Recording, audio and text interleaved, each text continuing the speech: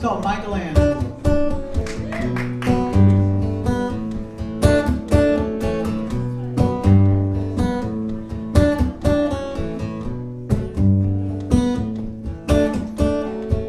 I saw this kid in New York City on 42nd Street using colored chalk on a sidewalk canvas. He was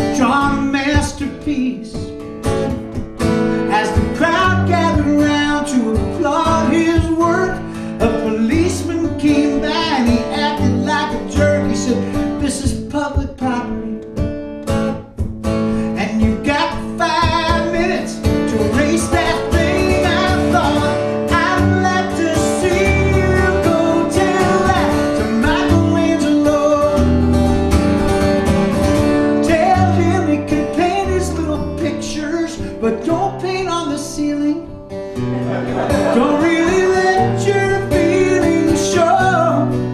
I'd like to see you go tell that to Michelangelo.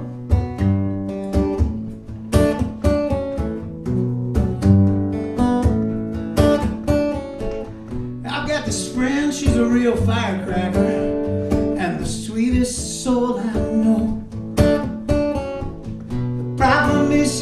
this boyfriend who tries to keep